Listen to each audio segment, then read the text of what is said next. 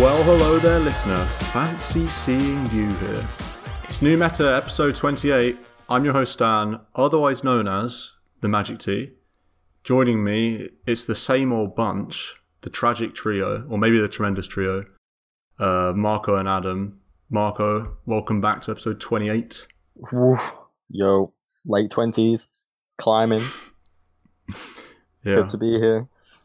Soon for a midlife crisis, maybe, or maybe we've got about 15 episodes and then. Midlife new meta crisis. It's too About to real. hit. Too real. That's funny. Yeah. That potential with that episode. Maybe, I don't know. we'll People see. like episode thirty. It loads up and it's like we're talking League of Legends or something. that would be a that would be a midlife That breakdown. that would be yeah. Yeah. But anyway, welcome. Adam, likewise, welcome to EP 28. Hopefully, the 28 year old slash midlife jokes didn't hit too hard. Sorry. I was about to say, I was- that's what I said. Too real. This is my uh, age. This is my age episode. So here we go. Yeah. That's the way they put it when they get there. This is my age. Full stop. Yeah. I don't know how else to put it. Yeah. Like we were, that went by so fast, just like my life has. Yikes. Yeah. Well, just like your life, New Meta has plenty more to go. Um, PMA. Yeah. Yep. And Dota, well, Ice Frog look, certainly looks like he's got plenty more to go. He's churning out patches quickly now after we seemed like we waited for 7.22 for an eternity. And suddenly you blink your eyes and it's 7.22c. That was released this morning, or at least this morning for me. Um, we'll be taking a gander through those largely minor, but all the changes basically, and then I imagine going through those will naturally talk a bit about the meta and where it's at and just general Dota at the moment sort of chat, which is what this episode will largely be about. Before we do that, I think it's about time for the how have your games been chat. Uh, Adam, I'll start with you. How have your games been? Uh, big, big game last night. Oh, Got yeah. my first ever win on Mars. So, Wow. That's delayed. Yep. It took three tries. Uh, one I've won it on every hero again, so it's nice to have that back. But I don't know. I channeled my inner Marco, so played a little bit of four position Mars. Oof, Ah. crit crit style. That's nice. Yeah, Yeah, I know you've been Seems you've strong, been whipping out really funky strong. fours. I've seen you at the famous Adam Quap. I was lucky enough to get a bit of action in a party game. the That Quap four. Yeah, the, The Zeus four. Yeah, not all sorts. The Quap four was a funny one because you actually had to leave to tend to some uh, students or whatever, and we you had to give us control. and We ended up winning the game with four players basically. That was a fun one. Yeah, I had to give hero control. It was um like so we had a bunch of interns move into the school over Yeah, over the weekend and I hadn't got really the I didn't really get to play because it's like you're you like know call I can't, can't sit down with the game yeah if someone shows up uh, Yeah. and then I have to leave so then nine out of the ten interns have moved in and I knew the the next one was coming in like an hour and a half. So like I have time to fit in a game now. And of course they show up 35 minutes early in the middle of this game. I'm like what is going on? Yeah. Wow. we'd already taken a lane though so we were okay couple things to say. First of all, I love the just the Dota junkie lifestyle.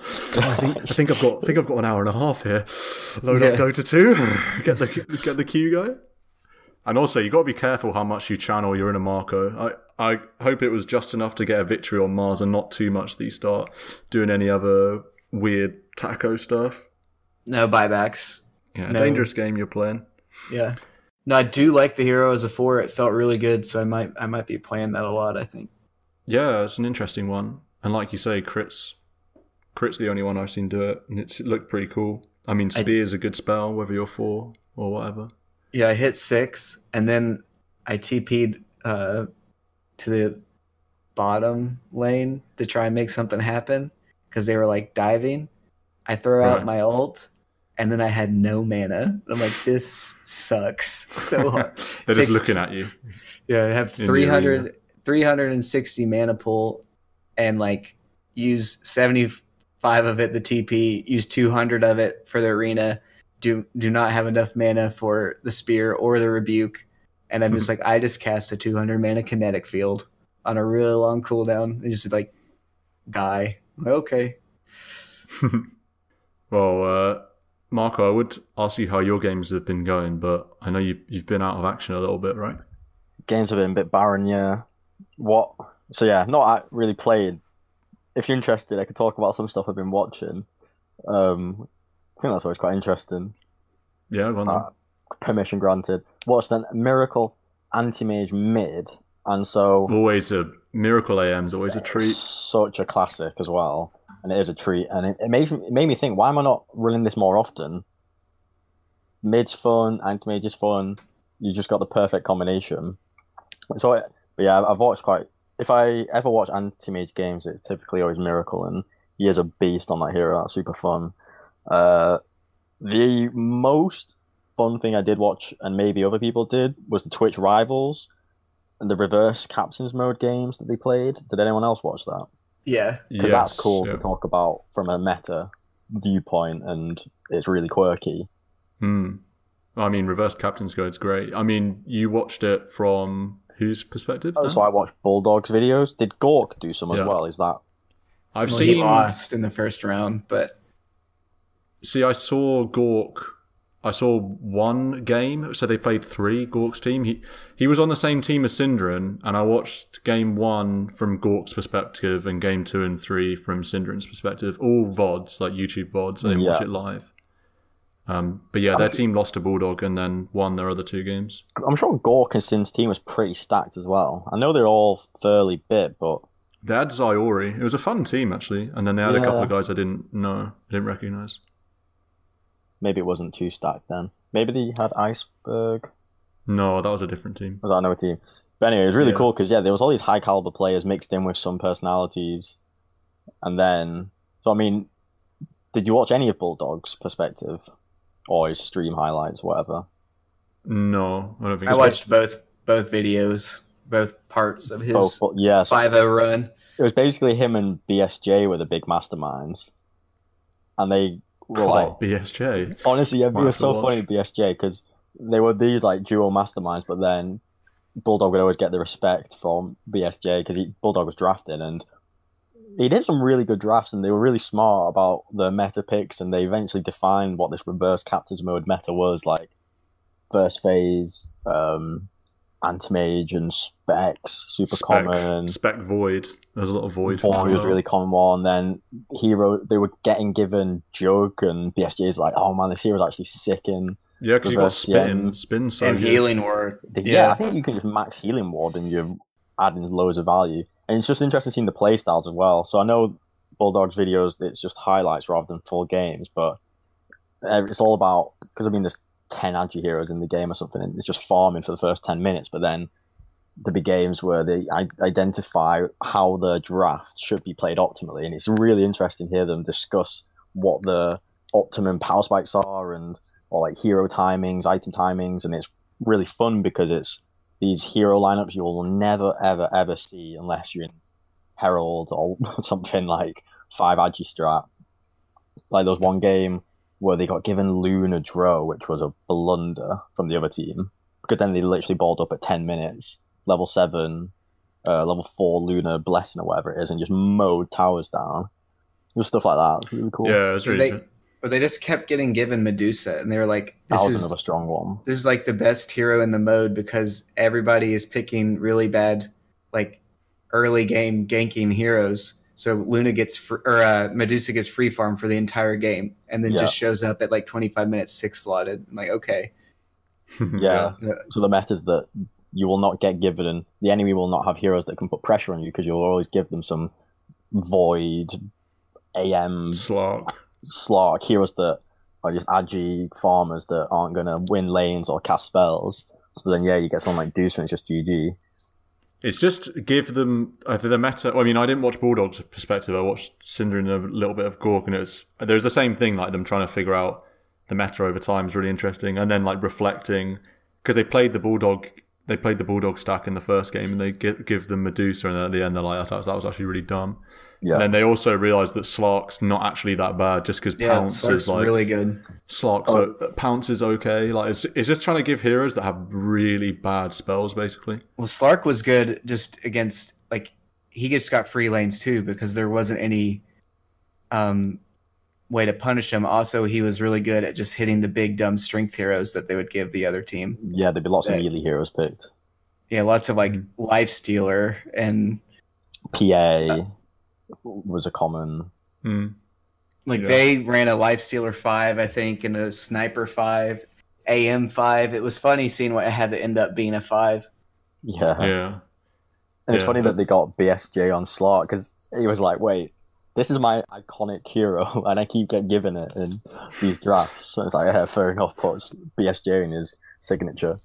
Yeah, some of the teams were clueless. I mean, the Bulldog stack, obviously they won, so they weren't clueless. And then the Sind Gork strat were actually like try-harding a bit and weren't clueless. Some of the other Yeah. Like there was an Aloha, dan- Aloha Dance stack and like the Iceberg stack, they just had no idea what they were doing. Like in the second game, they give Gork Morphling and Gork's just like, what the What? fuck? Like, what are you doing? Like, this game is just, well, it's so funny because, um, they're discussing who's going to play who at the end, and Gork keeps like trying to say because Synderen's basically the captain, Yeah. um, and Gork keeps trying to butt in and be like, "Can I play, play Morphling?" Just like, and then there's Sin's like, "Oh, maybe we put the Void. Definitely, I want to play Void support, but maybe." This other person takes morph and Gork, you do the, the slark, and then Gork's just like no, and he just he just picks morph and he's like, this game's over. It's like okay, fine. It was yeah, I don't know why you'd give morph. It's so crazy. That is silly, but seeing Bulldog and BSJ in particular master the meta really quickly and faster than the other teams, and that's largely why they do win every game, Yeah, was pretty cool. Like, I mean, Bulldog was like, Gork or Sind flaming me for doing preparation, and he was like, "Oh, I just spent ten minutes doing this tier of like tier one, tier two, tier three heroes of like the most trash to the lesser trash." That's Um, also well at the end of the first game. In the Gork stack realized that, that you get three grand like per per win. Yeah, yeah, So then they're like, "What the fuck?" Like then they start like, "Sin, why are you not? Why didn't you prepare? Like what the fuck?" yeah. Decent It's cash on incentives the at play. It's funny Did you- contrasting it to um, the reverse CM mode we did once. Where we gave everyone, we probably did the worst thing possible. Where we gave everyone spellcasting support. just Yeah, one good team had five interiors or something, and it's like it couldn't be more different to what these guys were drafting. Yeah, yeah. Yeah, I wanted to ask if you guys saw the clip uh, from that tournament where I guess Mason's stack gave the other team, I think it was the Aloha Dancer, like the Phonics stack, gave them five supports, and the five support team just like rolled them over, and Mason got like triple meteor hammered, just stun locked because everybody on the other team built meteor hammer and just pushed. That was the only way that in- supports That's- could push, but it's just like, yeah, they, you know, obviously the int supports roll the early game and mid game, and but usually they just stall out and can't push. Well, everybody just built meteor hammer and just like Yeah. knocked out all the buildings. Yeah. Does It Meteor sounds- Hammer stack? Ooh, Uh. No, no, the debuff. Oh, it doesn't. So you just have to chain it. you just I chain it and It would As in- refresh the debuff though. right. As in, I mean the DPS. Like, if you do three meme hammers on a on like a building, will they get? Will they do? Would it do three times the DPS? I don't think so. Okay. I think it's a Okay. just a single debuff, but they like just chain stunned. I Yeah, think it was yeah. Mason AM. He just got triple meteor That must be such a satisfying kill. Yeah. So I've got interesting story of how my games have been. Generally good. I just played a game, a Centaur game that I lost very in very frustrating fashion. It was actually kind of interesting because uh, I load into a game. This isn't the Centaur game. This is the game before. Um, I mark mid because I've been trying to play mid again. This other guy marks mid. Uh, marks Ember and is on mic like, I am Smurf, look at my profile, look at my Twitch, like all this, like give me mid, give me mid, give me mid. And I'm like, I was like, oh, I'm gonna roll for mid anyway because he can play another role if I win. Like I don't really care. And then he just first picks Ember Spirit, so I'm like, okay, fine, I'll go do something else. So I'm preparing to play like position four or something. Anyway, the game loads. Uh, we actually have a really good draft. Oh yeah, that was it. I, I was going to play Spectre. We had a really good draft, and I was like, man, this t- this is going to be so easy because we've got a Smurf on our team as well. Which like I'll report him after the game, but plus twenty five is plus twenty five anyway. So then the game starts. Other team, one of the guys on the other team just abandons straight away. So I'm like, oh fuck's sake. I guess a dodge or whatever. So the game doesn't count. Everyone leaves. I'm like, first of all, I'm feel robbed of 25 MMR. Second of all, there's no post screen, so I can't even report the Smurf. Like I can't even report the Ember guy because I don't like boosters. Like I usually try and report them anyway. So that was like another negative. What was the third negative again? I can't remember. At the time when I was thinking about it, there was three negatives, but now there's only two. Yeah. So I, I wait like a, a few minutes because I don't want to get the same person, and then I queue again, and I get the same person on my team again. Mark's mid, first picks Ember, whatever. I pick Centaur off lane.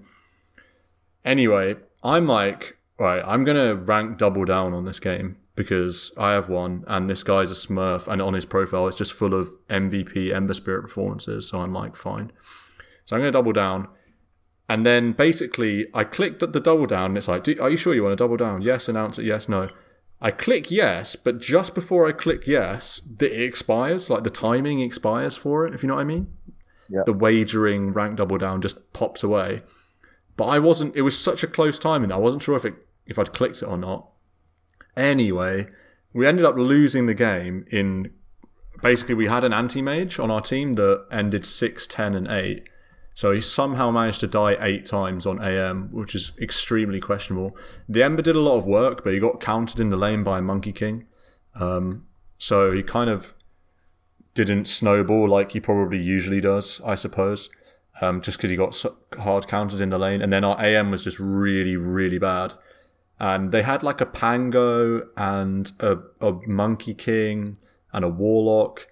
And it was one of those games. I mean, Marco, you play more AM, but it was one of those AM games where he's just getting disarmed or locked down, and he just you need a BKB. Like it's a feels bad to buy a BKB on AM, but this is like one of those instances. Anyway, Yeah. we end up losing. Um, BKB on AM is an interesting conversation, but yeah, this it is. over. I don't usually like it, but as in, I usually think you don't need it if you play the Kiro right. But this game was like he just needed it. yeah, maybe if he was a better AM, he wouldn't have. But this guy just he couldn't do anything. But he had he had MKB, Butterfly, Abyssal, Manta, uh, Battle Fury. It's like you do enough damage. We basically all we need you to do is kill Survive. Warlock. well. Just kill Warlock at the start of a fight, or like which you should be able to do. But he would just get like gone on. And it's like you just need BKB, or else you're going to get abyssal by this Monkey King or whatever. Anyway, so we lose, and I checked my MMR after the game, and I only lost twenty. So Oof, that's, that's a pog. So unless I was meant to lose ten and double down, I'm pretty sure yeah, the double down didn't go through, which is a pretty decent relief on my part. So yeah, the that's, comment go ahead. Yeah. the comment I would have to that is it your initial double down, or even that double down, sounds like a wiser double down than my latest double down, which is quite a funny one. Right. The gunner, the gunner The morph. Gunner Morph, yeah. Do, have we said that on the pod? Oh, I think I mentioned I'm it in a pod you weren't here for. for Yeah. But yeah, that was a bit that was questionable. But yeah, on the whole my game's been going very well. Uh I've been playing more like normal yeah, you're getting your mojo back. heroes. Like Lina and TA. I even won with Meepo, which is good because I've been failing with Meepo for ages. Anyway, Yeah. Maybe Um, uh, you, I know you've said you've been playing normal heroes, and you have. If you'd played Spec that game that got abandoned, that would have been not a normal hero. Oh, yeah, how that would have gone. Yeah, I couldn't go mid because this guy first picked Ember Spirit, and there was a. I played two Shadow Shamans today, so there you go. One is a five, one is a four because that's when I lost rolls for mid. Anyway, also shout out to Loot Monkey for doing a battle cup with me on Saturday as well, which is one of the most bizarre battle cup experiences ever with th- me, Loot Monkey, and three randoms that were I think drunk or high or both. Um, Drunk and high at the same time. Quite possibly. I mean, I, High don't on know. Dota. I mean, yeah, not because they were particularly bad, but just the mic communication was just laughable. They were like scre- They would just they would like sing voice lines. We'd win a fight and they'd just be like "ding ding ding motherfucker." We like, just like start singing. It's like so weird. Like what is going on? Anyway.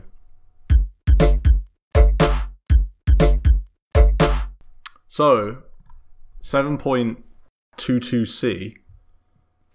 Where? How do we want to tackle this? Do we want to just go? Do we want to just jump to things that stand out about the patch?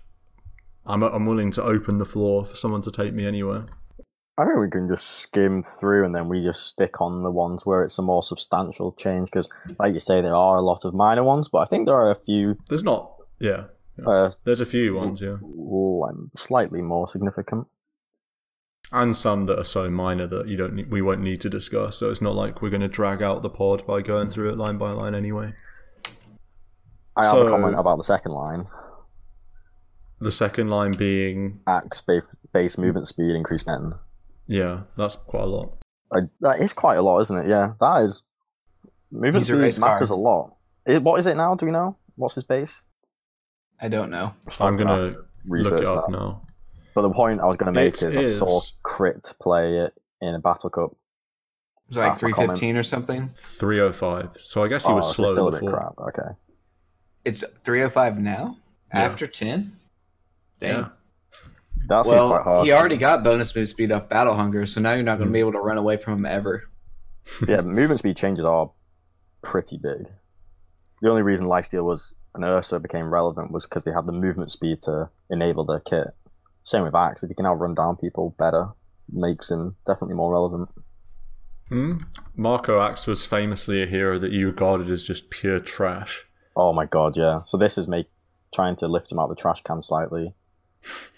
I think sit- this is a hero that, I, for pub Dota, he is still situationally game breakingly good versus the right lineup. Um, I mean, I played a game today where we, it was just the dream Axe game, and then the dream Axe game was born out. why Uh, was I it the wasn't- Dream Axe game? Well, I know for a start we were against a here it is.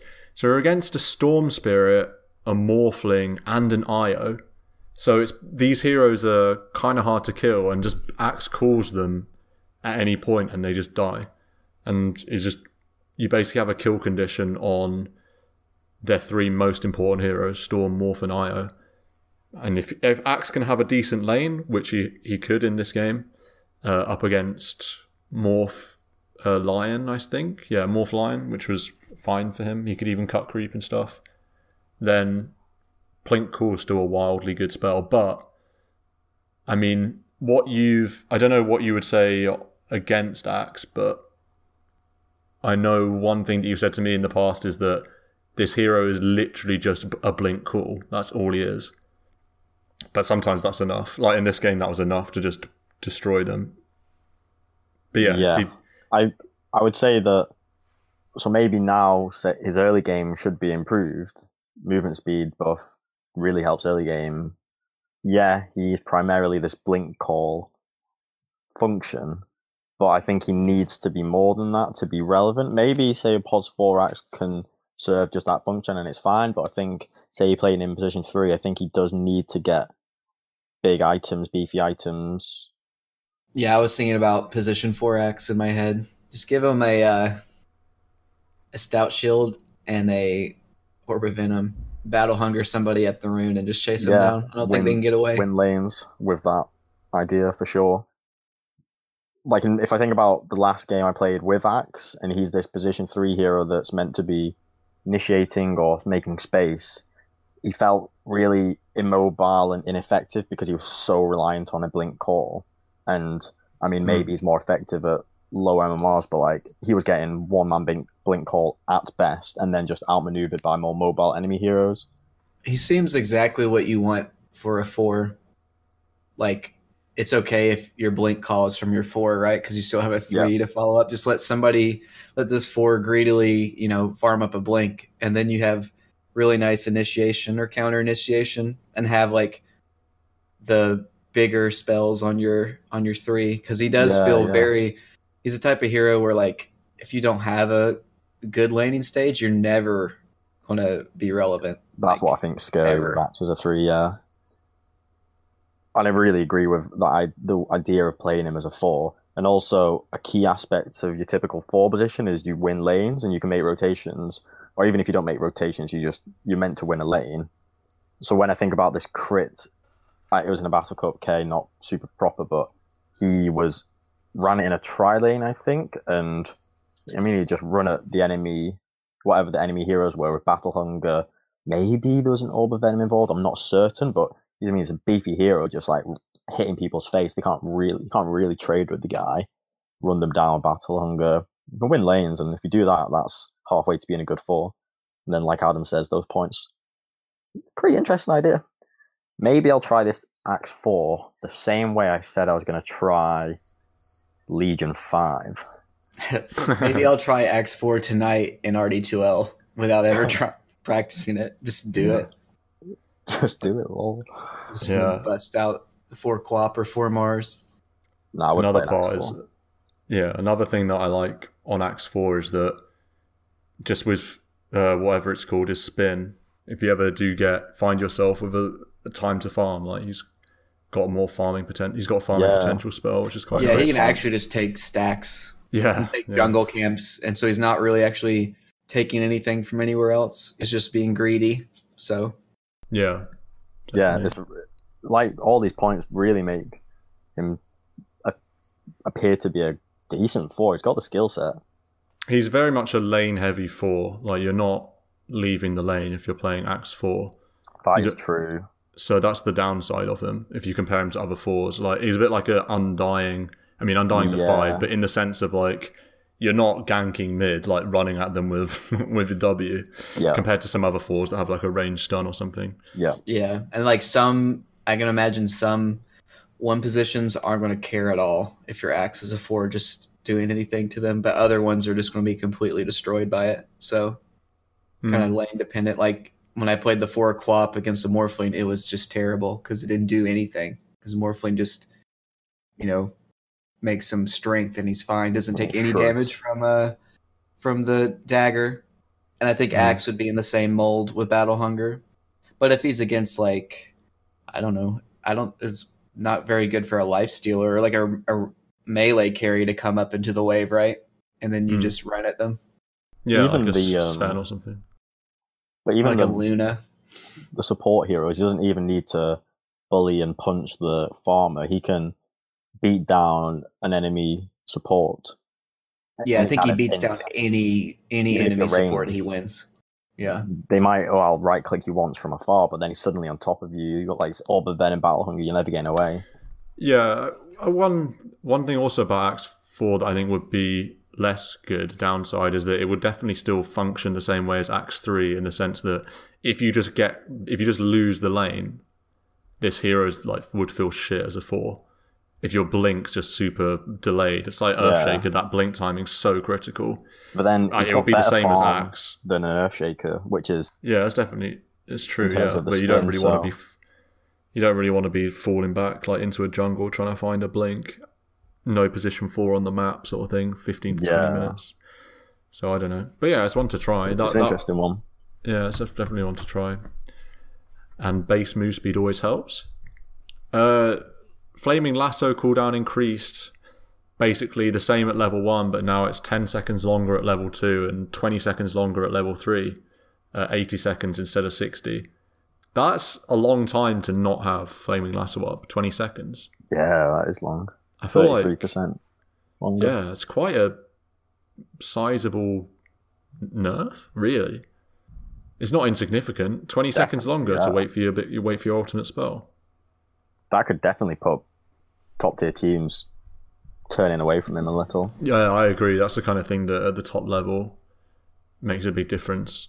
It's such an important spell. Yeah. I was gonna say it's uh it's getting closer to the TI, so that's when Batrider nerfs come, and then he's still gonna get Yeah. picked, and it's just like Yeah, actually Lasso is just at, is completely unbalanceable with like the rest of his kit. It's just so good Yeah. that yeah. no matter what you do to Batrider, he's still got lasso. So it's, Yeah, now what's going to happen is Ice Frog's going to do a, a change that says Batrider's level 25 talent now grants Firefly flying movement or something. That'll be like the 7.6 change that we finally see him not picked.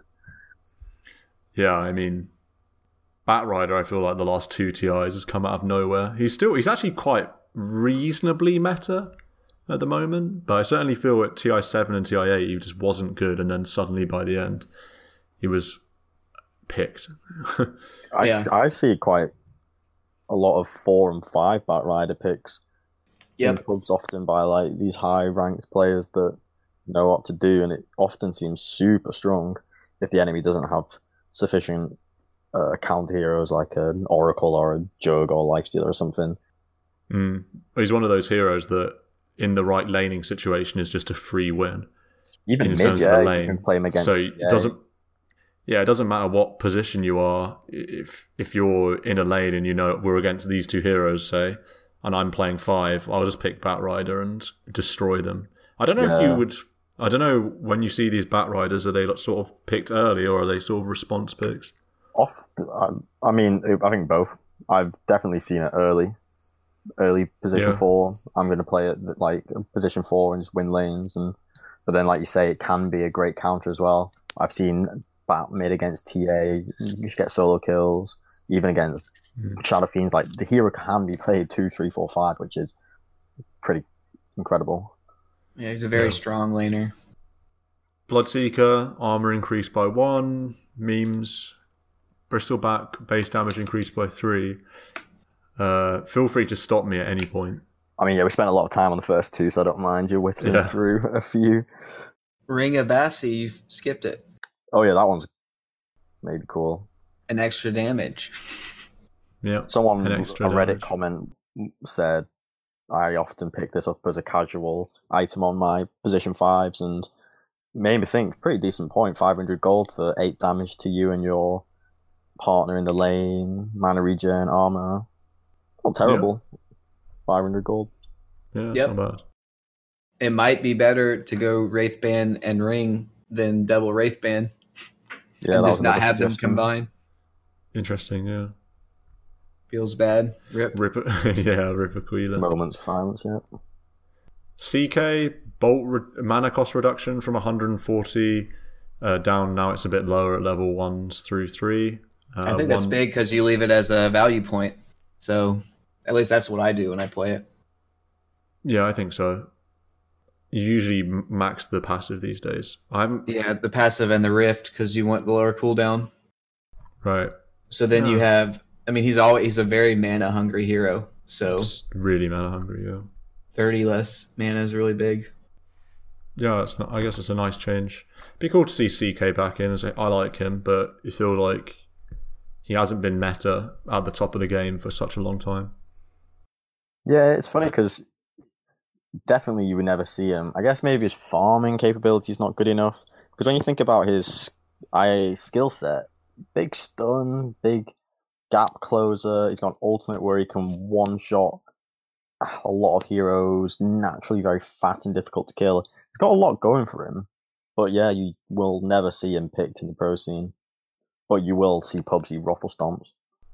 Yeah, he had that stint in the off lane when they first changed his passive. You saw a lot of position three CK, but then that True. fell away for some reason. I can't remember why that fell away. Some sort of, I think it was a nerf to his. They changed the way his passive worked, basically, um, and then it stopped being played as much. He's just a little. His illusions are just a little too long of a cooldown and a little too, um, they're a little less tanky. It seems than other. I mean, there's times where you can pop that ult and then your illusions just blow up. You never actually get the reality rift someone with Hmm. them. Yeah, Yeah, maybe he's- he's just too all in on his ult, paying off. Yeah, but there It's are other very- times where you actually just one shot their carry, just easily. So that's always a feels good. yeah.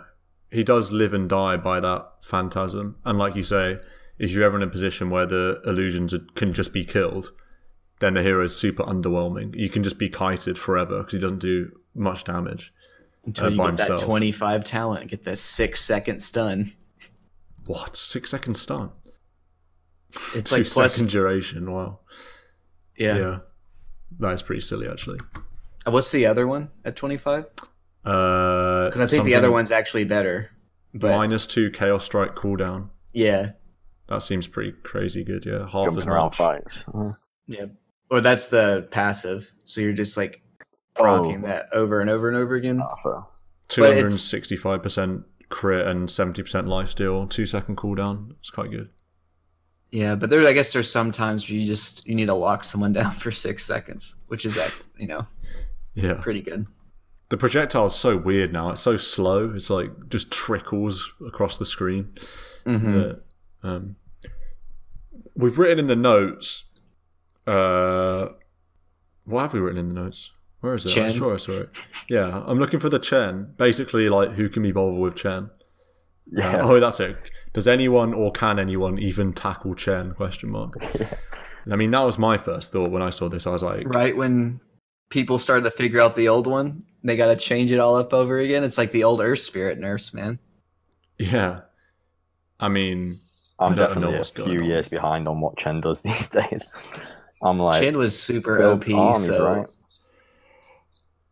there's just like he had KotL Ag's recall at level one. That's insane, and he still does. But um, they just swapped around all of his like abilities. Uh, yeah, I actually can't make a comment on this because I don't understand what this will change. I can't sort of. I I okay. So used to be divine favor was the aura and damage right to your creeps, and it was only to your creeps, um, not to like you know Lycan wolves or Right. things like that. But like your if you got a helm creep or like but a that, it, necro creep, in it itself work. was a hot fix, right? I mean, they hot fixed the fact that it didn't affect other things. No, it's supposed to only affect his units. Yeah, but that was 7.22b, wasn't it, when they changed that? I don't know. Yeah, I'm just saying that's what it. Like, it was before. It's right, what right, it was right. before and then his um and like so if you had a, a troll summoner and it made skeletons those skeletons got the damage buff too or like if you got a rock golem and it split into two golems. Those two golems got the damage. Right. uh and it was just a passive with like hp regen and then the damage buff and then it was like two times as strong. The damage buff went to heroes but the damage on your units was two times as strong. So you know like think 32 damage right, okay. instead of 16 on your creeps. But now they changed it to where the divine favor is just hp regen aura and then it has the recall on it of a hero with a 60 second Right. cooldown Okay. and now they put the bonus damage on the tr- uh, the creep conversion Yeah. So the biggest difference being the damage is no longer an aura, but it's just to the converted creep that gets damage. Right. So now So what you you, can do is you can split army. push with these creeps and they still have the damage bonus. You don't have to be around them in the aura.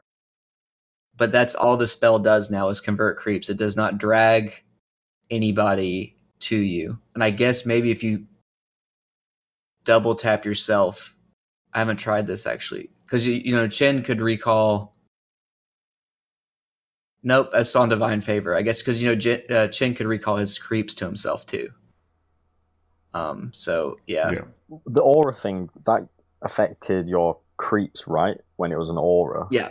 but now Mhm. it's only your Now it's just- creep. So the amount of damage. so it doesn't even work on the skeletons it doesn't work on the Yeah. split um much the less. split golems yeah and they also nerfed penitence mana costs for some reason like I, and that was like the third skill that you uh max which is actually a really good s- skill but A pop quiz to the listeners would be what does penitence do? Well, there was a time when That's penitence was maxed and it was really abusable. There was a Chen a few patches ago, or a few mini patches ago, not too long ago, where you got a medallion and you max penitence and you didn't bother converting creeps ever, and you just ran at people, and that was a really abusable Chen as well. Um, yeah penitence used to be the ma- the, the spell you'd max. It slows and gives bonus attack speed on target and it's really strong. Yeah, it's like a mini solar crest sort of thing. Mm-hmm. Apart from the fact that solar crest doesn't slow. Um, But then They they nerfed nerfed his, his XP gain too, and His talent at ten, yeah. and then they the 15 talent that changes the divine favor damage to plus 10 to t- plus 20 holy persuasion damage. That's like the same thing. Like that's no different in terms of like the net Right, to your to your creeps. Um, yeah, yeah, I don't know. He- He's like, I I I don't know what you do with him now. I mean, the recall ability is really strong. So if you're able to abuse that, uh, he's probably still going to be picked. But otherwise, I don't know. The only two people to have read Chen's spells are Adam and Sniff Yeah. Puppy maybe. across the entire Dota community. Yeah. Puppy wrote them. It's such a bummer that this does not provide damage to your teammates. This aura, or that it's not an aura anymore. So maybe he really won't get picked as much because uh, that was like it was really nice to give 26 damage to your to your team. Mm. And At level creeps, that's a major push. Well, it was 52 to the creeps. So yeah, it was, or uh, yeah, 52 to to your creeps Mm. because it was doubled. Yeah, rip Chen. I said that last time. He ended up being OP, so I'll say it again, and maybe he is still okay. yeah. Uh, clickety Clinkz or clonkers, as I prefer to call them. Not too much to talk about here. I mean, he changed they they've changed his ten talent to something that's actually relevant to Clinkz. So it used to be armor or magic resistance, and now it's agility or strength. So usually, if you're having a good time, you're probably going to go agility, being an agi Agility. hero and all. Yeah, Because I mean, Clinkz used to skip the level ten talent sometimes if you don't need armor or magic do. resist. Yeah, you you reckon eight actually? I think the extra points in the skeleton walk are really big. You get faster every time. I think, Right. Yeah, it'll be interesting to see. but it's at least a worthwhile talent now Yeah, you don't just skip it the entire because the eight, yeah, the eight agi is actually used by the um, skeletons at least for your ult. So that's Yeah. nice. and skeletons that you're going to be seeing 30 seconds earlier because they're giving him a 15 talent change from plus 15 strength to minus 30 second burning army cooldown. That seems like a no-brainer, right? Over uh, the buff to your Oh, is it Searing searing arrows? arrows? Uh, Yeah. Maybe it's not a no-brainer then. Seems pretty good. Minus 30 seconds on your What's ult, the Searing Arrows one? It's like plus 15, 15. damage. which is a really, really good as well. So I don't know. Maybe it's just maybe searing arrows damage is just too good. 15 or 50? 15. 15. Is that really that? I know like all your little It's been nerfed. dead It's here. been nerfed twice. It used to be 30, I think, Maybe at uh, one point. So If you could be using your ult more often, quite tempting, but you would change your ult from a 110 second cooldown to an 80 second cooldown. So, for what it's worth, that's one to see. I think I'm banning Clinkz at the moment in my pubs. Uh, I haven't even lost to one yet. Usually that's reactionary. Usually everyone's bans are just reactionary to the last hero that stomped them. But I'm preemptively banning Clinkz because I know at some point I'll be stomped by a Clinkz. I had uh I had yet to see a Clinkz lose once they got Ags. Um until I played Battle Cup with one on my team this weekend. And it was only because he got Ags at 56 minutes, like sixth item. Like I, and that's just wrong. But Right. uh yeah, I don't know. I think he's like the really ultimate pub stomper right now. yeah, Yeah, he's I scary. agree. He's always a pub stomper. Especially if you like you either go medallion or diffusal and then I think you get Ags. And after that it's I don't it's I think it's impossible to deal with. He's so Um, brutal that if you say your position one or two is caught, not even caught out of position, but unaware the, the vision's lacking safest Clinkz, and then all of a sudden he pops his ult and he's, and he's gone ags and medallions you. I, he's one of the highest DPS outputters there is with just a few items, and you, you're dead in a blink. And then it's even even if he was caught or you see him, he's kind of a He's fast hero. Without the right heroes, he can be really slippery. It's pretty annoying. Especially when he has Ags because he just breaks the move speed limit. So he's Oh god, that's super fast. So, do you, Adam? Do you reckon? I'm thinking first of all because I, I kind of want to get on this Clinkz action. Just as I'm finding some success playing some old old school heroes that I have experience with, I want to push the boat out already. Is he mid then? I suppose. Um, he can seems like- mid. I I think, think, he's just one through three. right. Yeah, and then diffusal into Ags or medallion into Ags. You wouldn't want to go both. You think just one or the other, and then get the Ags straight away. I just I don't think you get the Ags third. I think you get the Ags second. Um, right. His his laning is actually pretty bad. Um, like even though they buffed the mana cost, you know, it's lesser mana cost on the Searing arrows. I mean, they nerfed how much damage they do at every level, so he's nowhere near as like big of a bully or dominator of a lane as he used to be. He doesn't really farm very fast either, because he has no like farming skill. Yeah. He just has to write like you know auto attack creeps. Yeah, and people should be aware that this guy's HP pool is very low, relatively. This guy should get pressured and bullied and spells thrown at him or make a man fight happen, and you will knock him down decently.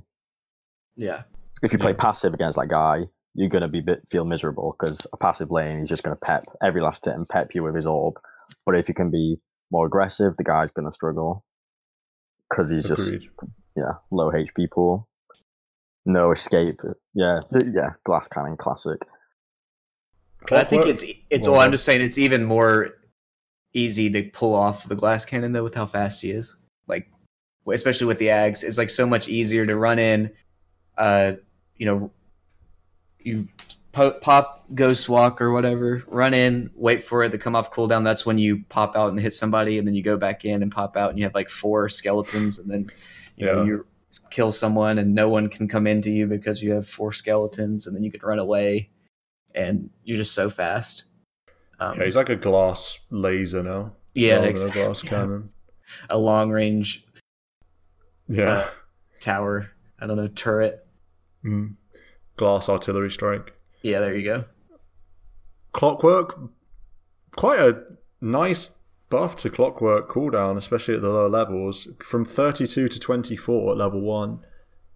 Uh, it's nice for clock in the lane, I imagine. Eight seconds, yeah, it's quite significant. Makes him able to be way more active. Eight seconds. It doesn't sound much eight seconds, but in a lane in phase, I think that is significant.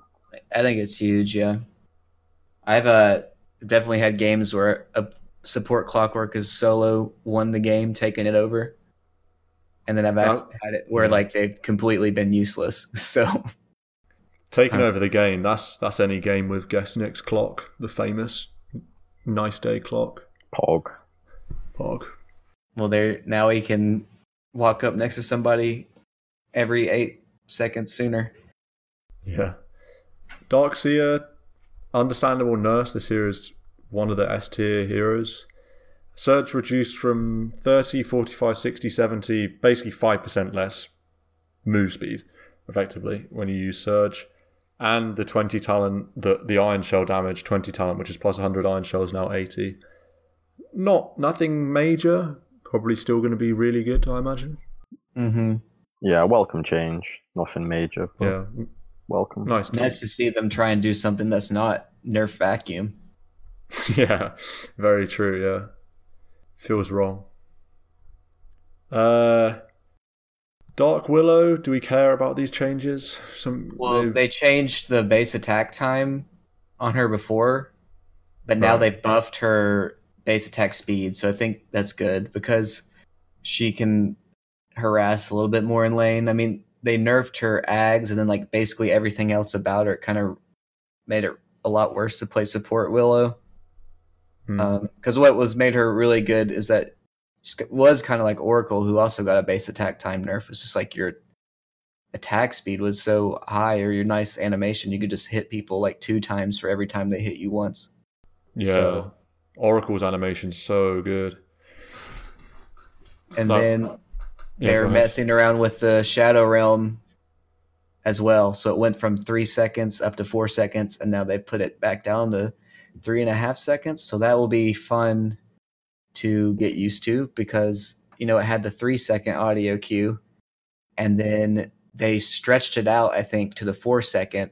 They just took like I think it felt like they took the same audio file and just like stretched it, so it didn't Right, sound yeah. the same. And now I don't know if they're going to compress it, but I don't know. Four seconds felt r- like a really long time to wait in Shadow Realm before hmm.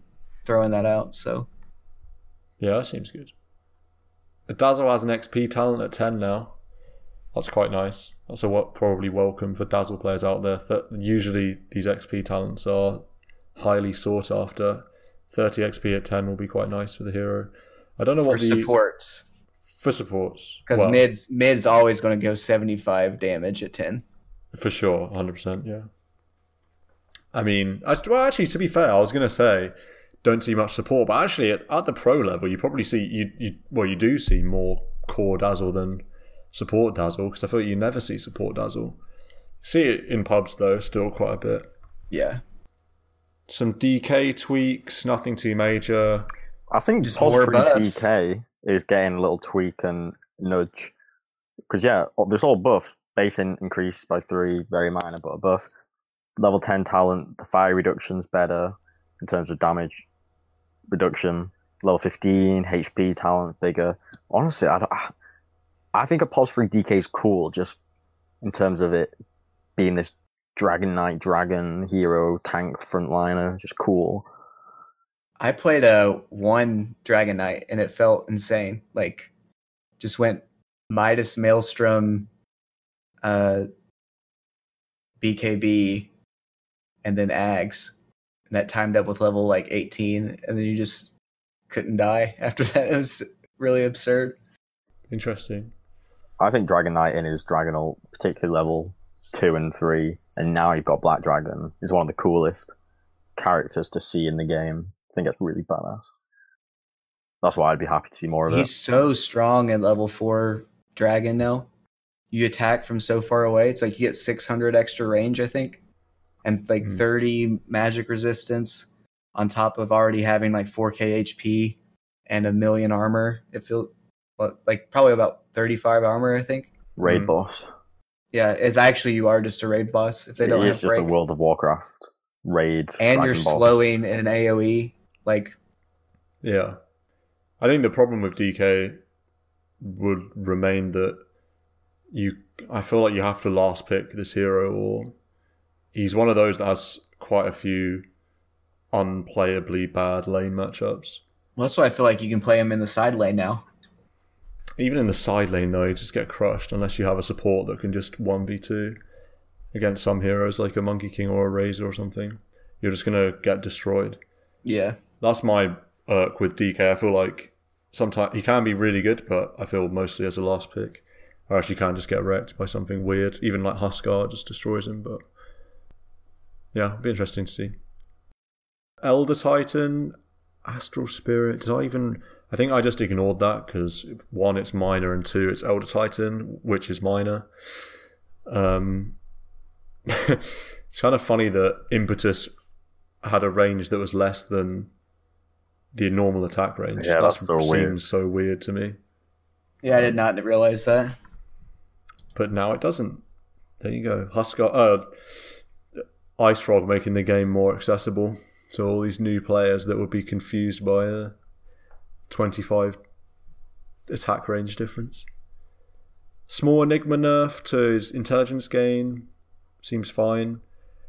Uh, and Faceless Void, so they've increased the chronosphere radius by 25 from 425 to 450. They also increased Will-O-Wisp radius from 675 to 700. So two tiny buffs to these big team fight ultimates. I thought that was kind Is of interesting that they decided Is to the do chrono a buff or is it a nerf? Is there a is there a range of MMR where it's a buff and a range where it's a nerf? it's a range where if Stan steals it, it's a nerf. that. Whoa. Stan is the watershed point. Yeah. I mean, I was going to say more, maybe MMR is one, but I think country in the UK is a nerf. UK chronospheres are notoriously bad. Yeah. oh, if you're true. from within the British Isles, don't pick Faceless Void. Um, or even worse, don't pick Rubik into Faceless Void. But um, yeah, I don't understand why. I guess because Void and Keeper of the Light are a bit bad. Yeah, it definitely makes them a bit more relevant. I really like the fact that KotL's ult's got bigger radius because it it just makes him better. And I think he's a really cool hero, and his ult is really cool. But you don't see much of that hero. Chrono, ah, Void is a hero you'll never see. Ah, Maybe this nudges it. Ugh, I still, I still don't think it's big enough nudge, but maybe, maybe position three. It's funny because I watched, turned on a few random streams, and I saw Wagger was playing a Void, and then I later I saw Keji was playing a Void. so maybe this tiny, tiny change has nudged it back into some people's mind at least. Mm. But it's definitely not so significant that he's going to be picked in every pub. No, I agree. Huskar life break slow increased from 40, 40 50, 60% to just 60%. So now it's a 60% slow at all levels. Seems nice. I think Huskar's very good in pubs at the moment, personally. Uh, he has a very high win rate, and that's not a good sign for us minions of pub Dota. Uh, Adam, I don't know if you have any thoughts on Huskar, because I feel like he's pretty good at the moment for pubs anyway. I don't uh, play him like at all. Yeah. But I mean, that seems like a pretty good little buff. I mean, it's not going to like break the hero or anything. I feel like he has way larger glaring weaknesses that he didn't used to. Just the, ma- the fact that you can just magic burst him now. Yeah. I mean, it's the complete opposite of before. Now he's hard countered by the very heroes that he used to counter, like the Yeah, magic burst heroes. Um, yeah. Now he out regions the physical damage, but if you can just burst through him super easy. Yeah. He actually currently has the third highest win rate in Divine slash Immortal games. That's Uh, surprising. 56.9%. This is on the global trends tab. I don't know if Dota Buff would say something differently, but this is the last eight weeks. And I mean, it's almost just silly at this point that Visage and Lycan are just always at the top. Both Yeah. sitting at. Visage and Lycan are both sitting at 59.5% win rate in Immortal slash Divine. That is crazy. Anyway, followed by Huskar, who's at 56.9. So I think in the right situation, this hero can be can do a lot of work. Whereas I think he, with these gradual buffs, um, I've put him in a pretty decent place, situationally in a decent place.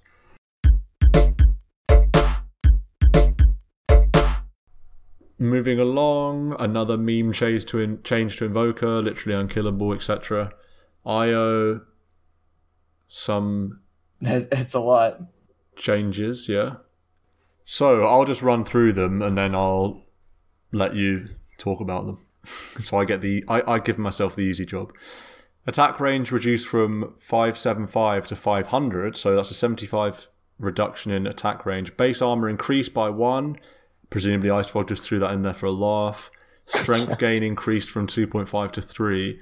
Tether regen reduced from 150 scaling. No, tether regen reduced from 105 scaling to 150 to 90 scaling to 150 and tether cancel now has a 0.25 second cooldown to prevent accidental uses here's a one an easy one to digest spirits no longer slow and also they've moved the slow to level 10 there's rather than the 20 xp talent now you get the spirit slow at level 10 so i don't know if either of you want to digest any of those IO changes. It's a lot of nerfs.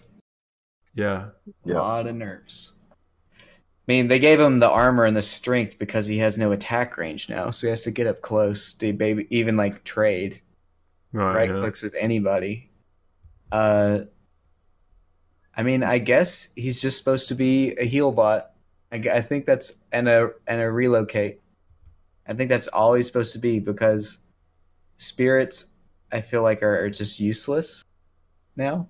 Yeah, Maybe I guess I- you farm with them, but they don't slow an enemy, so uh, I guess Yeah, they just pop for a minuscule amount of damage, and then now you're never gonna get to your levels because they took away his 20 XP gain talent. So like they didn't just move it around; they just got rid of it. So Yeah, really strong nerfs across the board. His early game is notably weaker with that attack range less and the tether regen. I mean, a level one tether is now 105% to 90% regen. So, I mean, his early game is much weaker. I think that ball thing, if you get hit by five balls to the face, you're basically rooted for a second, given how much they that they used to just slow you to a to a, halt, basically Mm, mm. that made massive differences in kill potential. Now that's no longer there. This yeah, this hero, this guy's early game kill potential really is lost. And then you worsen his mid game progression because he doesn't get an XP gain talent. So really hurting this hero across quite a large portion of the game. Yeah, it's a funny one. I, feel like it's not necessary, really. I mean, well, maybe maybe some nerfs were necessary. He was first phase banned all the time at the last at ESL, but when he was picked, he lost all three games in the finals. So I don't know. Spirit's no longer slowing. Seems like not necessary because it just, like Adam says, it just turns him into a pure heal bot. I mean, I personally don't like the fact that you can't toggle the spirits in and out, just because I'm usually a fan of like skill cap things, even for heroes that I never touch, like Io. Um, maybe this is just a precursor for TI. Again, this hero always seems to just be broken at TI, so maybe he's just getting those nerfs in early. I don't know. Yeah, I think the consensus was that it's still a broken hero, and yeah, it's showing that ESL was weak 0 3, but I think the consensus would still be yeah, first phase ban the guy, it's too strong, Gaio's too good in the highest level. So yeah, we Hmm. just get the nerfs in ahead of time. Yep, Hero's still trash in pubs though, so don't worry about it. Moving on, we already discussed the Keeper of the Light changes. Lich, Adam's one of Adam's favorite heroes. Base intel increased by two. Gaze cooldown reduced a little bit. It's six seconds lower now at level four. Chain frost damage increase and 25 talent increase from 50% slow to 60% slow, although I don't think that's the 25 talent that you take anyway. then you get the heal. Yeah. Um I mean quite minor, I suppose. I'm never going to complain about two int. The guy has no int pool. You can't like, and you can't sacrifice anything anymore. So it's really Yeah. nice that you can Yeah. cast some spells. And I like Yeah. the uh, sinister gaze cooldown being lower at max because it's a really strong spell. Hmm. That's a very high cooldown at the moment. You still Yeah. 24 is quite high for a level 4 spell like Gaze. Mm-hmm. Um, some minor changes to Luna, Medusa, and Mirana. Morphling. Morphling. I like Yeah, the ahead. base. Uh, the base mana regen on Mirana is really nice Yeah, four. because extra point four, like, God forbid you ever play a roaming Mirana, but mana issues was like one of the big things, and even just casting Starstorm used up a whole lot of mana. Like you really Hmm. couldn't use it to farm if you ever wanted to have mana for a team fight as Mirana. So it's pretty cool. Yeah, that's nice. Um, Morph waveform cooldown increased from 17 up to 11 to 20 up to 11. Uh, so just a bit of a nerf to early points in waveform. I don't think it's that important though. Waveform mana cost increased a bit as well. Again, not particularly important. I'm kind of surprised that Morph hasn't been tweaked down, turned tuned down a bit. I feel like the hero's really, really strong. Um, in the at the top level. So I'm- mildly surprised he didn't get touched up. Uh, necro changes. They basically have increased the regen that he gets per stack at low level. So basically 1.5 higher regen per stack at level one, um, and that but it's still the same at level four. Uh, and the mana regen per stack is increased by 0.5 at each level. so you Heroes could do a value point in it. in the aura. Yeah, and max your heal and not have Yeah. to be destroyed by the fact that you have to put in a bunch of points into this useless heart stopper spell. Yeah, Yeah, that's a true point. I mean, uh, Hero's still bad, right? Yeah. Isn't it win rate quite good? I don't know. It definitely got so. tanked um, by the heart Heartstopper changes, but it's still okay. I mean, his spells are his ult's always really strong, but Oof. Forty-seven percent win rate. So it's he's one rank one hundred in the win rates. This is at Divine slash Immortal. what did it like tank ten percent or something? Yeah, tanked ten percent with the change to Heartstopper. Ah, That's yeah, crazy. That's pretty heavy. Ten percent change. Wow. His ban percentage went from thirty six percent to one point five percent. That's funny. And his pick rate went from wait, that can't be right. Pick percent forty seven point nine. That can't be correct. Oh, I'm looking at Drow Ranger. All right, forget, scratch that. Both of those statistics I just gave you are about Drow Ranger. In terms Oh, of the the change in ban, the the win rate change is the same though. It's ten percent. But yeah, his pick rate went from sixteen percent to five percent. I guess that's not that uh, not that incredible versus the Drow Ranger change. yeah. Drow was picked up in forty eight percent of games. That's crazy. Not anymore though. Um, Nyx Assassin. I know someone had something to say about Nyx. Yeah, I think this is one of the biggest nerfs and the patch. One of the biggest changes. This is definitely a tier one hero. And now, base HP regen 3.25 to 2.5. Fairly significant. She's a bit of a weaker laner now. Ob still a strong laner, but not as strong, which is good because a 3.2 HP regen must be one of the best in the game. Now it's 2.5. Cool. Now spiked carapace duration is reduced from 2.25 to 2 to only 0.25, but when you think that in a team fight everyone could be hit by spiked carapace, everyone's now stunned. That little bit less definitely is a positive if you're playing against a hero. And I, I, like I said, I think hero is tier one, so I don't mind seeing it get nerfed slightly in it this way. the the stun duration or the duration that you Oh, have it up sorry. when you pop You're it? right. Yeah, duration it's up. Still, yeah, okay. So you're not stunned less, but yeah, there's you Yeah, don't have to wait as long. it's to- shorter. yeah, yeah, definitely like a decent little nerf. yeah, for sure. The quarter second makes a big difference. Yep. Phantom Lancer juxtapose illusion damage increased from 16% to 18%. I didn't realize it was this low. I didn't realize the illusions did so little. I thought they'd do more, but I suppose the real illusions are. Oh no, that is the ult, right? Juxtaposes is ultimate, Yeah. right? Yeah, Yeah. I mean, you can Wow, have that's crazy how low handful that of is. illusions hitting True, yeah, you do have a lot. Well, surprising to me. I thought it was. I thought it would be. If you'd said to me what percentage damage do his illusions do, I would have probably said thirty-five. I probably would have said forty, maybe. I don't know. Anyway, I don't play this hero. Is this the change that gets me my jungle win on PL? I don't think anything will get you that at this point. You're cursed. The Takko, uh, Takko Phantom Lancer is cursed. I think. What do you make of this Phoenix Fire Spirits release cast point change from 0.01 to zero? I don't. There's some sort of thing going on there. There must be a reason. Is the reason just that they don't want 0.01 to be a number in Dota 2?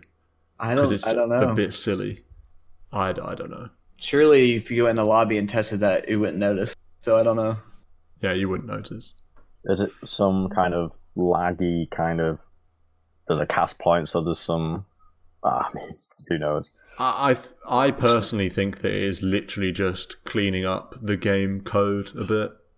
What's the point of having point Yeah. 0.01 when it could just be zero? And they, so they just changed it because they can. That's my thoughts. Yeah, someone spotted this clunky number that doesn't need to be there. Uh, Puck has 0.5 more base health regen. And some changes to the level 25 talent. Dream Coil talent no longer requires enemies to be in attack range of Puck as long as Puck is within 200 range of the edge of the circle. Dream Coil talent attack interval reduced from every 0.6 seconds to every 0.7. Um, no one cares because Whoa. hashtag 420. Yeah. Oh man, this. I, I think okay. Obviously, 420 GPM is nearly always going to be picked up. However, this Dream Coil talent change isn't totally trash can because now the effective attack range you could have on your puck when you dream coils and has this talent. I mean, the dream coil radius is pretty big, and you could be on the other side of that, i.e., 200 range within the edge of the circle, and say hit someone on the opposite side of your dream coil. So you could be pew pewing from quite far away. We'll have to try it out, that's for sure. Yeah. The, You'll have the- to try it out. You'll have to try it out, and we'll see. You're going to if you suffer can with me because to this is party game for absolute certain. dragging the game out so you can get 25 yeah. on a puck. Um, His level 10 talent's got slight, the tiniest of buffs. That HP Mhm. regen's the tiniest of buffs. Welcome change for a hero that's in the, the trash can right now. Has been in the trash can for quite a while, it seems. Although he was he was picked up at ESL, wasn't he? Once. Zai played him. True, Three yeah, and it was a bit underwhelming. Yeah. Yeah, they got nailed. Sa- Sand King's the next change, and it's a, maybe people will be surprised there wasn't bigger changes. So his strength game has been reduced ever so slightly, and his sandstorm mana cost has gone from sixty to seventy-five, which really isn't that substantial. Fifteen more mana to use sandstorm isn't re- isn't hurting the hero too much. Maybe it work it weakens his four when you've just got a tranquils and nothing else, but at the end of the day it's only fifteen mana, so it's really not very tangible. And basically this hero was one of the most contested heroes, definitely at ESL, and I think it's very popular these days as well, position three or four. So Mm. I think I mean it will still be very relevant despite this patch. Mm. Shadow Shamans had a bit of attack speed reduction. Doesn't really matter. The sky change is cool. Go go on, run us through the sky change. So concussive shot is W, the one where you fire it and it hits and slows someone. Its damage now scales from rather than 70 to 280, it goes from 100 to 280, so it's better at levels 1, 2, 3. But at level 1, so it makes me think of Adam's theory crafted on ABBA. So level 1 now, you're doing 100 damage rather than 70 on your concussive shot, which you can cast from quite far away. Is quite, I mean, we it's only 30, but in these early laning phases, on the first few minutes, that 30 can rock up a few times. It isn't too bad. And then at level 10, he's now got a 30% XP gain talent rather than 8 intelligence. So, again, thinking about these more support positions, 30% XP gain is really significant. Definitely Hmm. feel like these two changes can swing Skywrath back into relevancy. Yeah, I agree. That's Position a lot of damage star. at level two between your Yeah. Q and that concussive. Yeah. For sure, that's tons. I'd be scared to see Skywraths in the offlane now. Yeah. and then getting an XP talent. Oof, yeah, I think Which might I don't you probably do get that. So maybe I have to buy boots now because I would always just go the movement speed talent and just have five nulls. So if you get a wind lace, you'd be fine. yeah, there you go. yeah. That's the same as the level ten talent. Used to be plus twenty move speed. Yep. Uh, slight buff to Slardar base regen. Sven, Stormhammer stun duration reduced. Uh, basically, it's just a, a tiny bit less. Uh, 0.3 of a second less at level 1. Not huge, although obviously not great for Storm. Uh, for Sven, rather. Warcry mana cost increased from 40 to 60. That'll be felt, because Warcry is one of those spells that you do spam. Even when you're just roaming through the jungle, you press your Warcry. Um, so Sven will perhaps feel that a bit. Um, He gets a mana regen talent, though, doesn't he? At ten, yeah, yeah, yeah, he does. So probably is fine. super minor, yeah.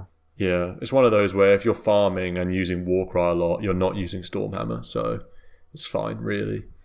Small change to both Timbersaw and Terrorblade. Uh, Timbersaw's never going to complain at base mana regen, even if it is a quarter of a point. Um, and that brings us to one of the more talked about changes just because of how unnecessary it is. Tinker, so March of the Machines mana cost is a little bit less at level 1 through 3. Um, but now, Tinker has a 150 GPM talent at level 15 um, versus a movement speed talent. Uh, why? is I think what a lot of people are thinking. Why has Tinker got a 150 GPM talent? Don't know what your th- your thoughts are on that. Thanks, I hate it. that's what Yeah, that's why I think. I I hate the hero. I hate it. I hate it. I hate it. So Yeah, that's the dirty hero. I just hope it doesn't show up. A Yeah. non, well, a, a non-independent thought. Simply a comment that I saw online about how this GPM talent could mean that Tinker needs not farm as heavily in the mid game, therefore can be more active and involved with fighting and give more space to any rest of his allies. It is a fair point, quite an interesting point, but at the end of the day, it still means Tinker's in your game, so life is bad. yeah, for if you're on his team or against him, like it's just unenjoyable either way in my eyes. yeah, I hate playing with Tinker. I hate playing against Tinker. yeah. I think maybe the GPM talent makes him more attractive as like a pub stomp hero. You get the E blades and the Dagons a bit quicker, the Cypher Vices or whatever. But yeah, this hero is unenjoyable. I know no one hates Tinker more than Guest Nick as well. So hmm. I'm sure he was shivering when he read these changes. Tinker's always banned in our games with Nick, so Treant Protector, he got slight buffs. Another base armor increased by one. There's been quite a few of those. That's that's welcome, particularly for a melee hero. Much more welcome because you're more often taking little beats from creep or enemies. Then, Yeah. and I mean, Treant loves to be getting his fist fighting going in lanes, so very relevant to get armor increase. And then his overgrowth duration has gone up 0.25 at every level, so minor, but every little helps. And at level one, it's now a 3.5 second root. Hmm. That's quite long to hold people in place. Hmm. So I. I think he's a. I mean, I say I think he's a cool hero, and I'd like to see him. My last memory of him is mainly on Nick, who had this monstrously useless free game. it was like 0 18 or something. I mean, we everyone got crushed, I believe, that game, but still sour memory. However, mm-hmm. I think he's a cool hero. wouldn't, wouldn't mind seeing him. Still has a ton of damage at level one with Nature's Guise slapping Yeah. people for like a hundred or whatever. It's plus, yeah, I think it's plus 60 level Plus one. sixty, yeah. It's really Yeah. significant to hit people in the face with that. Slight nerf to whirling damage, whirling axes damage on Troll Warlord. Tusk has had his movement speed increased by five. Underlord has his armor increased by one. Um, I'm by the way, I might have to play a bit of Underlord at some point because this hero's gets me places MMR wise. Undying fixed some bugs, fine, and Soul Rip max unit count reduced from 10, 12, 14, 16 to 8, 10, 12, 14. I don't really know what that even means. Soul Rip heal damage from 18, 22, 26, 30 to a bit more than that. I think it's just a slight buff to Soul Rip, meaning that you don't have to be as reliant on there being lots of units around to get the value out of Soul Rip because now you need fewer units to get the same heal or damage. I mean, I've not done the exact maps, but that's the idea of the count going down but damage up. Mm. Vengeful Spirit magic missile cooldown reduced from 10 to 9. That's quite nice. Um, a second less on the stun. I mean, I know it's only 10%, but you'll take it.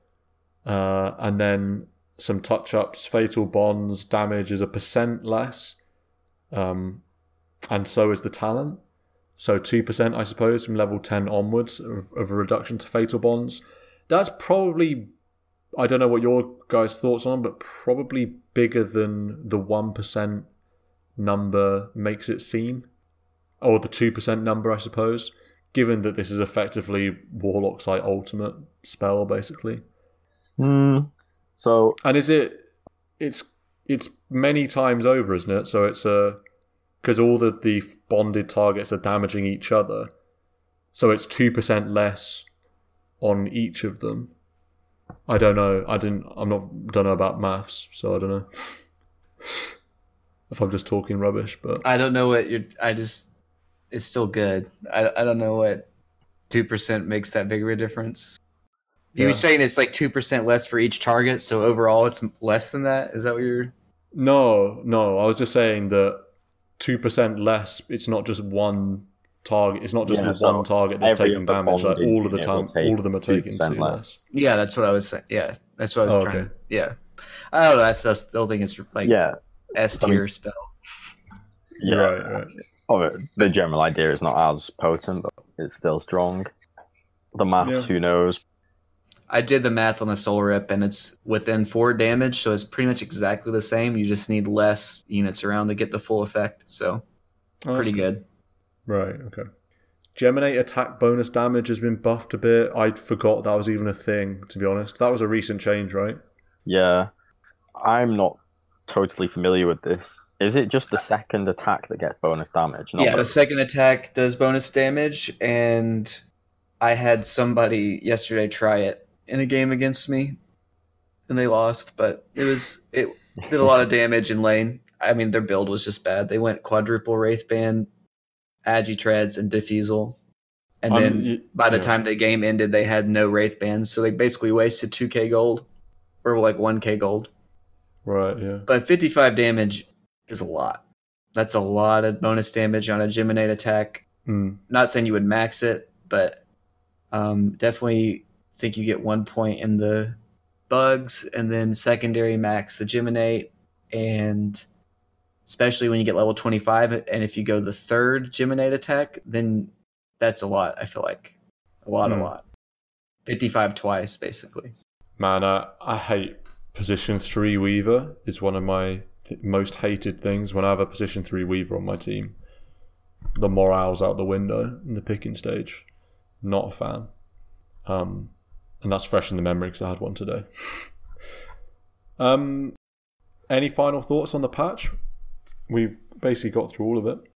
I want to try 4 Axe.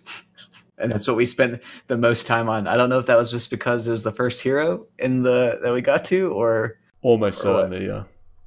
I can get behind a four axe. That's for sure. and for for Skywrath. Those are the two things I want to do. Yeah, I feel like next mini patch we should do it from the bottom up. So we actually spend like 20 minutes talking about Geminate attack damage and skip Yeah. over axe at the end. Uh, give some love to some of these lower alphabet heroes, maybe. Um, Oh, I want to yeah. try Undying some more too. I mean, he's he's one of my favorite fives to play, but like, no one respects the level two Soul Rip, the Decay Soul Rip. Hmm. like so much damage and now that you don't even need as many creeps um for the same amount of damage i think it's really strong it's like a 176 damage nuke at level 2 so or like just at, and with one point in it which is a lot that's a lot of damage No, I totally agreed. that might be the most damaging spell at level 1 i think if you are you know if you do if you have, get it in the right situation. yeah, because well, you couldn't do that. Um, well, okay, does Soul Rip work with um heroes? Do you know, is it, or is it just creeps? I don't know. I actually because before the max unit count was ten at level one, and the creep waves only have four each, right at the beginning of the game. So Yeah. you actually couldn't max it, like max the damage out of it, unless Hmm. there were some jungle creeps around. But now it's went down from ten to eight, which is like the exact amount of two creep waves meeting at level one, which I think actually makes this the most damaging spell at level one. Yeah, I can't think of one that would be more. I, I can't work out what the total damage would be. Well, it was uh, it was Shadow Shaman Q. So, Oh, um, I Or if- Rocket Barrage could be up there. or if you consider like ah, yeah, Rocket Barrage does do a lot. to be fair. Disruptor Q, but it's like four instances with like you know they each get reduced, and then the region in between it kind of gets kind of iffy. But this is like one. What about yeah? What about cast double point. edge? How much does double edge do? No, at that's one? pretty weak level one. 150. Yeah. That's more than Ether Shock. Mm, Ether Shock's 140. I don't know. Has that been nerfed or something? yeah, I think Rocket Barrage. If you got a full Rocket Barrage on someone, or like Diabolic Edict, maybe that does more. Oh yeah. Edict's another one. these are yeah, they're a little bit different. Like those aren't yeah, nukes per se, yeah. right? They're you have to be next to somebody or like Mm, mm. whereas like a single cast point because soul rip's instant speed pretty much and then yeah that's actually a lot of damage 176 you imagine like two or three decays on somebody and you pop that i don't think many people live through that. Mm.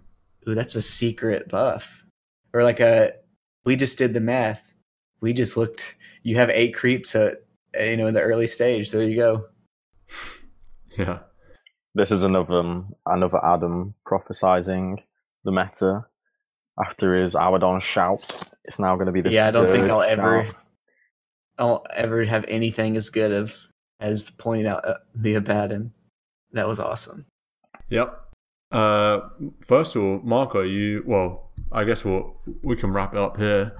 The listeners want to know whether or not Marco's using a walkie-talkie as a microphone.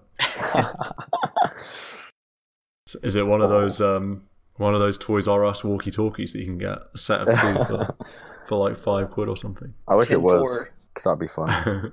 You're talking into a tablet. no, I've got a plug. It's I've got earphones plugged in rather than a mic plugged in. I actually, I'm I honestly think your Go on. Your audio will this ep- your audio for this episode will be better. I can already tell it'll be better than usual because your microphone that you use normally is is r- worse than this. Is it? Yeah, well, I don't know if it is in Discord, but it is when I edit because when I edit, it's all there's no volume variance. There's everything is. So if you imagine the waveform of the classic Audacity file, everyone's is like normal wavy normal sound. Yours are all exactly the same volume. So whenever you talk, it's just like a block, and then you stop talking, and the block ends.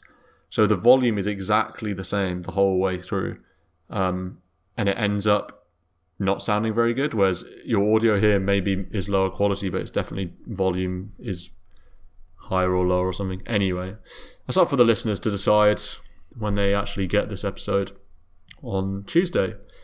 If there's any So- confusion, well, uh, go on. What are you gonna say? I was just going to say it's always good to leave some uh, topical topic at the end of the pod to see which are the keen listeners.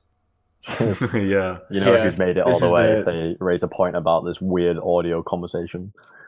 These are the real, uh, you know, behind the scenes, the real juicy nuggets that people wait till the end to hear. I'm sure. For sure. You got to reward the listeners for getting to the end, for getting them some top some top new meta uh, content. Um, what I was going to say is if there was if there's any confusion about which weeks we're doing the Tuesday episode and which ones we're doing the Friday, we're doing them. This is a Tuesday week now, and the next Tuesday episode will be two weeks today, and that was swapped around because we basically did two Tuesday episodes in a row, so it, that effectively meant that the schedule swapped a week or whatever. Basically, So- IceFrog was being a nuisance and not sticking to our schedule when he released. Exactly. Yeah. Yeah. I had a word with him. It won't happen again. so yeah, that's new meta episode twenty eight and Dota two episode seven point two two C. Thanks, listener, for joining us. Thanks, Marco and Adam, for joining me um, on this patch edition. We'll see you again on Friday, I hope. And until then, bye.